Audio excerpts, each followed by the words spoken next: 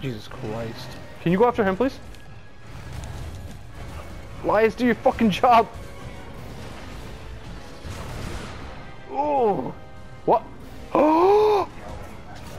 Tidara!